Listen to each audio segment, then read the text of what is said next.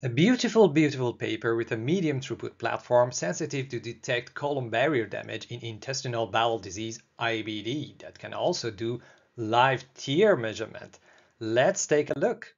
They start with human colon tissue from three donors. Then they isolate the crypts and stem cells and expand it to get enough colon spheroids, as they say. Next is dissociation of the spheroids to cell aggregates to seed in an organ chip. The chip has a top and a bottom channel and a porous membrane between them. The cells are seeded in the top channel to form a monolayer on top of the membrane and kept in static condition in proliferation and differentiation media in total for seven days. Of course, they characterize the epithelial layer to show there are mucus-producing goblet cells, tight junctions, and epithelial polarization. The cool thing is that they can measure TEER live Okay, IBD.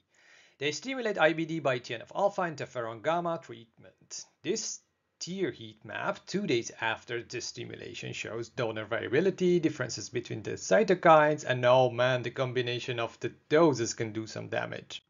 They look at the permeability of the model too. Okay, that's a lot of data, but the bottom line Again, donor variability, differences in the cytokine effects, and look, the system can detect differences in permeability of molecules with different sizes in a short amount of time, only six hours. At the end, IL-8 secretion as a response of the tissue inflammation.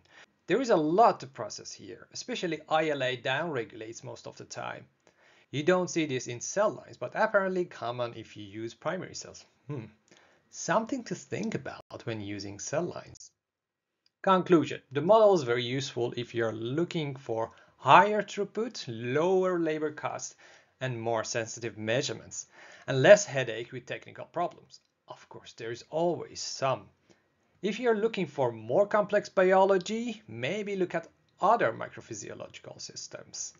That was it. Follow us and stay tuned.